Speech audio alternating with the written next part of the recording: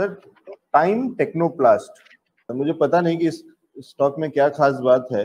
हम अक्सर इस सवाल को लेते हैं और मैंने नोटिस किया है कि वो यूट्यूब के अंदर में एनालिटिक्स में सबसे ज़्यादा देखा भी जाता है टाइम टेक्नोप्लास्ट पे व्यू क्यों लोग इतना परेशान है या क्या सर्च कर रहे हैं, मुझे पता नहीं। आपको कुछ दिखता है क्या, सर? मेरे को तो साइडवेज दिख रहा है, कोई दिख नहीं रहा है, कुछ दिख नहीं रहा है। मैं अलग अलग चार्ट चेंज करके देखने का ट्राई कर रहा हूँ बट कुछ ऐसा स्पेसिफिक चीज़ इसमें नहीं दिख रहा है। मोटा मोटी साइडवेज नज़रिया इसमें बनता है। ठीक है तो कई बार इसलिए भी लोग परेशान हो जाते हैं क्योंकि टाइम वाइज बहुत सारा वो उनका अपॉर्चुनिटी लॉस हो रहा होता है। तो वो इसलिए भी सर्च कर रहे होते हैं कोशिश कर रहे होते हैं समझने की कि इसमें से निकल जाएँ या बने रहें या और बढ़ाएँ क्या करें।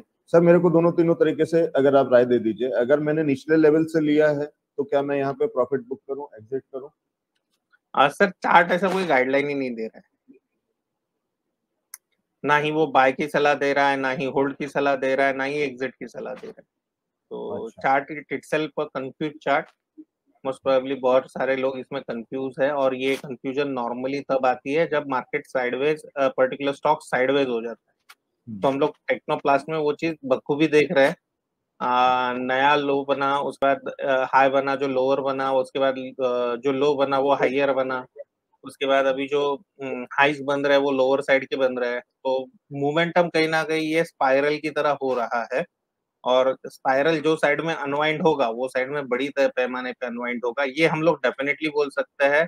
दूसरा जो स्पाइरल बिल्डिंग ये लेवल पे चल रहा है इसका नॉर्मल जो आ, मतलब जो थेरोटिकली कहना है तो वो तकरीबन तकरीबन 65 से लेके 68 परसेंट तक with the trend spiral unwind होता है। तो अभी जो मैं आपके चार्ट पे ट्रेंड देख रहा हूँ, वो एक बुलिश ट्रेंड है।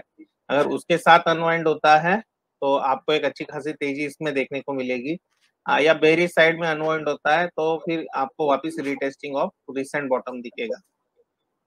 ओके okay, लेकिन ये दोनों में भी अपने को ज, जब तक ब्रेकआउट नहीं आता है तब तक कहीं कहा नहीं जा सकता ये अप साइड जाएगा कि लोअर साइड जाएगा।